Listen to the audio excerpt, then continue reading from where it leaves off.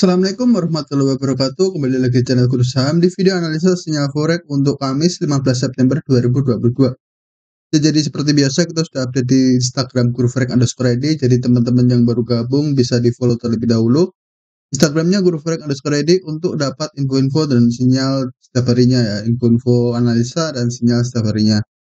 Oke, jadi untuk hari ini uh, kita ada dua analisa di sini ada analisa intraday dan swing, tapi ini lebih ke semi swing dan swing ya. Jadi intraday-nya ini lebih ke semi swing ya, kurang lebih seperti itu. Di sini kita ada USD CAD dan USD Japan Yen. Jadi sama-sama pair USD teman-teman. Di USD CAD sendiri kalau kita perhatikan kita analisa dari time frame M30 hingga weekly. Kita ambil posisi sell, uh, kita lihat ada potensi uh, dia akan terjadi swap liquidity ya. Lebih swap, swap liquidity ini terjadi di equal high gitu. Kemudian di USD Japan Yen kita analisa dari time frame daily ke monthly ya. Ini time frame tinggi. Jadi kita entry-nya ya entry time frame tinggi ya teman-teman ya. Jadi kan ini buat swing ya. Di sini kita open posisi sell karena untuk time frame rendahnya kemungkinan dia akan swap LG juga swap liquidity juga dan ada equal high juga sama seperti USD CAD. Jadi di sini untuk USD CAD kita set limit di 1.32807 kemudian stop lossnya di 1.33184 TP di 1.30522 kemudian untuk resiko loss per 0,01 lotnya sekitar 2,75 Desain reward 1 banding 6 dan expired sampai 29 September 2022. Untuk USD Japan Yen kita sell limit di 146.597. Kemudian stop lossnya di 147.371. TP di 133.693. Untuk resiko loss per 0,01 lotnya cukup besar teman-teman. Sekitar 5,8 dolar. Jadi di sini untuk yang swing sebenarnya kita bisa open dengan posisi resiko maksimal ya ini ya. Kalau saya pribadi swing itu maksimal 1,5% dari modal gitu. Nah, berarti kalau 1,5% kalau misalkan uh, saldo kita 500 berarti 1,5 persennya itu sekitar 7,5 dolar ya. Nanti kita bisa open posisi 0,01 lot kalau saldo kita 500 ya. Tetapi kalau saldo kita di bawah 500 kita bisa gunain akun sen gitu. Agar untuk menyesuaikan resikonya. Jadi resiko itu tetap maksimal 1,5% untuk swing dan 1% untuk intraday gitu. Jadi kurang lebih seperti itu ya teman-teman ya. Karena saya sendiri kalau membagi-bagikan uh, dari beberapa plan misalkan kalau scalping itu cuman 0,5% per trade ya itu maksimal. Kadang saya malah bisa lebih kecil bisa 0,3 atau 0,2 persen. Ya persen loh ini loh bukan lot dah. Jadi 0,5 persen per trade untuk satu entry-nya ya. Jadi kurang lebih seperti itu di sini untuk USD Yen kita resign dewa 1 banding 16 expired sampai 15 Oktober 2022. Terus kita juga bisa lakukan partial profit taking jadi TP parsial ya. TP parsial itu kita bisa lakukan ketika harga sudah running resign dewa 1 banding 1 ya. Jadi di sini untuk USD cash sendiri atau di di USD Japan Yen di USD cash saja. Ini jarak antara entry ke stop loss sekitar kurang lebih uh, 30 pips ya 30 pips lebih dikit. Jadi kalau kita sudah running profit 30 pips lebih dikit kita bisa TP parsial. Jadi teman-teman yang ban posisinya lebih dari 0,01 lot misal 0,06 atau 0,04 kita bisa close bagian dari posisi lot kita. Misal dari 0,04 kita close 0,02 gitu itu untuk mengamankan keuntungan ya, yang jelas. Kemudian untuk mengurangi resiko, kita bisa pindahin stop lossnya ini di entry. Jadi seperti biasa, kalau sudah risk and reward satu banding satu, kita TP parsial dan stop loss kita pindah ke entry gitu. Jadi, eee, itu fungsinya untuk mengamankan keuntungan dan sekaligus mengurangi resiko. Jadi resikonya itu jadi nol gitu. Karena kalau berbalik arah tidak sesuai dengan analisa, kita tidak rugi apa pun gitu. Yang jelas seperti itu teman-teman. Terus untuk analisanya bisa swipe kanan aja di sini. Di sini ada USD CAD. Di sini ada ya, di sini ada USD CAD. Di sini ada USD Japan Yen. Oke, jangan lupa like seperti biasa, kita bahas satu persatu dari USD CAD terlebih dahulu ya.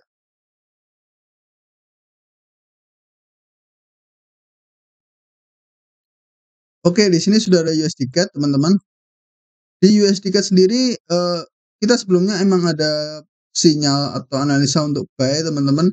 Tapi karena di sini dia sudah terlanjur TP ya, dia tidak menyentuh dia tidak kembali dulu untuk retest ke buy limit kita. Jadi mungkin ya besok kita lihat-lihat dulu kalau dia masih bisa untuk kembali dulu, kemudian naik, kemungkinan kita bisa ambil. Tapi kalau yang sell limitnya terlebih dahulu tersentuh, berarti yang buy limit kita bisa cancel gitu. Oke, jadi untuk USD CAD kesimpulannya kita analisa dari time frame M30 hingga weekly ya. Kita pindah ke weekly terlebih dahulu. Oke. Ke daily biar lebih jelas barangkali. Oke, di sini kan ada liquidity ya untuk daily-nya. Di sini ada equal high ya. Di sini juga ada inducement. Terus di sini kalau kita perhatikan, nah ini kan ada candle bullish ya teman-teman ya. Ini candle bullish daily. Jadi dia close dalam keadaan bullish ya, walaupun dia cuma doji seperti ini, tapi dia candlenya biru. Jadi ini masih masuk ke candle bullish. Dan ini adalah candle bullish terakhir sebelum dia break up structure di sini.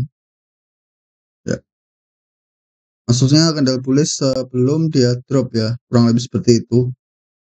Dan di sini kalau kita perhatikan lagi, kalau kita tarik ya, silakan kita kembali ke sini dulu. Terus kita buka di time frame M atau H40. Nah, di sini kan jelas ada market structure ya, walaupun di daily dia cuma doji, tapi kalau di H4 ada market structure-nya. Nah, seperti ada ada market structure-nya seperti ini. Di sini kalau kita perhatikan lagi lebih detail seperti ya satu ya dia satu dia ada order block di sini dan belum ada harga retest ke sini.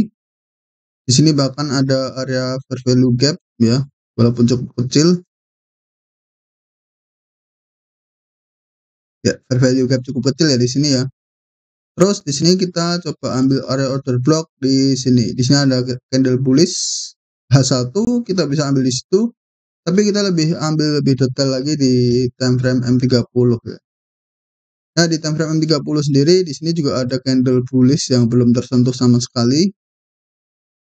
Dia masih di atas, bahkan di candle bullish setelahnya dia cuma mencapai bawahnya sini. Jadi ada jeda, ada fair value gap juga di sini cukup kecil kalau kita perhatikan. Di sini bisa masuk fair value gap ya. Untuk time frame M30-nya. Jadi kemungkinan untuk USD dia akan swap liquidity dulu terus mengarah ke order block di sini. Ini terjadi di tanggal 4 November 2020 ya. Ini cukup lama, sekitar 2 tahun yang lalu. Oke, jadi kemungkinan dia akan mencoba untuk tutup area ini dulu, ambil area supply di sini dulu, kemudian melanjutkan penurunan. Oke, di sini harga sudah ada mulai kenaikan, jadi kemungkinan dia akan mencapai atau swap liquidity terlebih dahulu. Harga akan swap dulu. Swap ke atas ya seperti ini, dia akan tembus. Kemudian di sini akan banyak seller-seller uh, atau para trader yang open posisi sell di sini tentunya dan stop loss itu biasanya ditaruh di atas ini.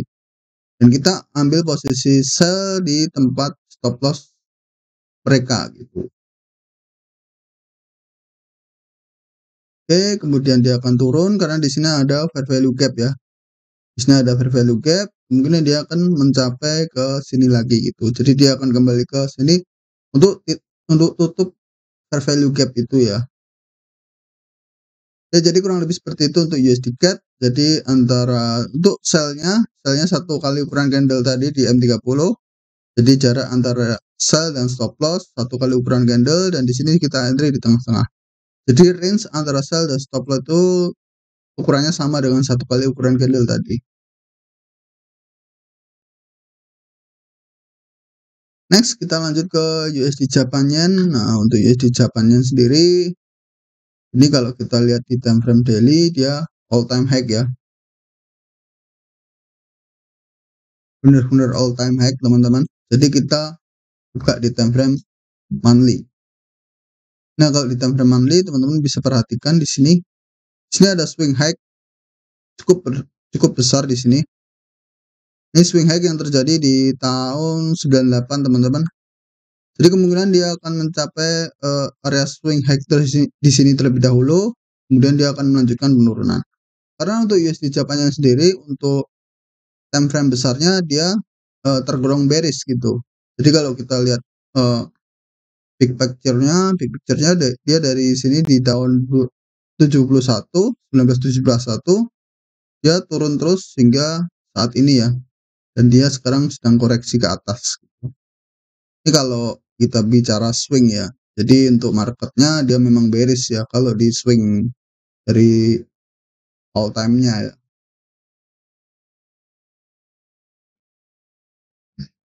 Oke, jadi di sini kita coba ambil posisi sell di area swing high di sini. Oke. Ini kalau kita perhatikan juga dia juga sudah break up structure tentunya. Ya, di sini dia sudah break structure. Jadi dia sudah break dari low sebelumnya. Kemudian di sini akan jadi area strong resistant ya atau strong supply di situ. Nah, di sini harga sudah break dari low di sini membuat lower low, oke. Okay? Artinya di sini adalah lower high. Kalau ini tertembus, berarti dia uh, ada coach change of character untuk monthly-nya gitu. Jadi di sini dia ada area strong supply-nya. Kalau ini tertembus seperti ini, kemudian dia pasti akan koreksi terlebih dahulu yang jelas. Kemudian dia akan melanjutkan kenaikan. Jadi kurang lebih seperti itu teman-teman.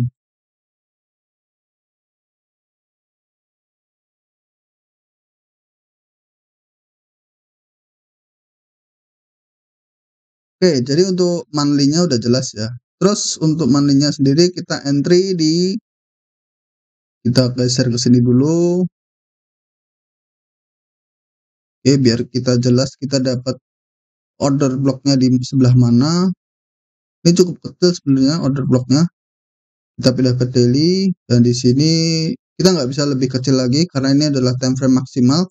Kalau kita pindah ke H4 atau H8 hasilnya seperti ini. Jadi tidak ada data yang bisa kita ambil di bawah dari daily gitu. Bahkan di 12 hari pun juga nggak bisa gitu. Nah di sini kita coba untuk ambil posisi paling aman sebenarnya karena di sini ada area order block yang meliputi dari candle bullish ini ya. Untuk daily ya. Daily order block di sini dan kita ambil uh, sedikit aja ujungnya aja seperti ini. Dan sini kan mungkin ada ekor atau ya ekor-ekor dari candle-candle bearish di sini. Mungkin ada beberapa candle bullish juga di di tren bawah atau seperti H4, H1 pasti ada aja di sini yang jelas. Karena ini kan tren apa candle daily ya candle daily jadi kita nggak bisa lihat oh, candle candle di dalam candle daily di sini. Mungkin pasti di di dalamnya ada uh, candle candle bullish juga pastinya. Jadi kita bisa asumsikan kita bisa ambil range dari candle open hingga ekor ke atas di sini. Jadi range-nya itu dari sini hingga ke sini. Itu untuk yang kita jadikan order block eee, posisi sell kita dengan stop loss kita, terus kita entry di tengah-tengah. Oke, jadi jelas ya untuk entry-an kita. Dan di sini adalah tempat entry-an kita. Oke, jadi entry-an kita di range candle daily tadi itu ya, jadi di antara candle daily tadi. Jadi di sini adalah entry-an kita, satu kali ukuran candle tadi. Oke, dan kita entry di tengah-tengah di sini. Di area order block ini, range-nya itu sama dengan jarak sell dan stop loss. Kita lihat ke H8 atau H12. Nah, di sini kalau kita perhatikan di sini ada equal high ya. Equal high terbentuk. High-nya ini benar-benar ukurannya ukurannya sama. Kalau kita cek pun juga sama ya. Sama ya, tidak ada lebih sedikit atau kurang sedikit.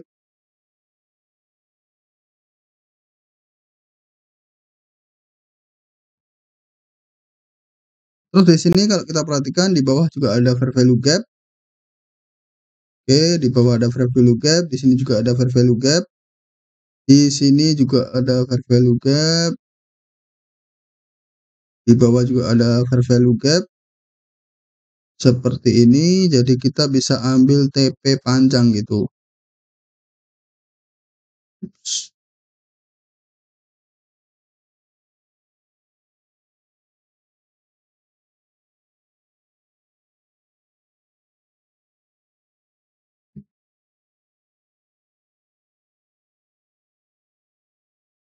Nah, seperti ini ya. Jadi di sini ada fair value gap dan kita ada lihat di sini ada area demand ya. Jadi kita ambil TP-nya di fair value gap-nya aja gitu. Walaupun di sini juga ada fair value gap, di sini ada fair value gap juga.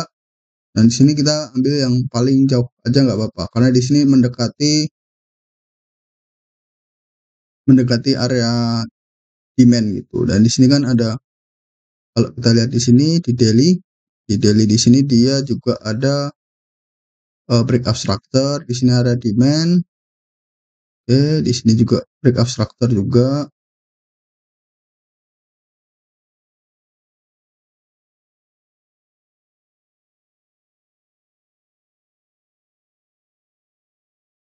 Nah, seperti ini. Jadi kemudian dia akan mencoba kembali ke area demand tersebut di sini. Jadi kurang lebih seperti itu ya untuk pandangan saya dari USD Japan Yen. Jadi dari entry ke stop loss. Untuk range atau expirednya ini satu bulan teman-teman sampai uh, 14 Oktober ya. Jadi kurang lebih seperti itu untuk USD Japan Yen. Oke mungkin cukup ya untuk kedua analisa kita dari USD CAD dan USD Japan. Semoga bermanfaat dengan video ini. Yang udah profit pertahankan, yang masih terus belajar ya. Pertahankan risk manajemennya karena itu adalah kunci untuk profit konsisten jangka panjang ya. Yang jelas selalu gunakan resiko maksimal 1% dari modal kalau intraday. Kalau swing maksimal 1,5% dari modal. Ya.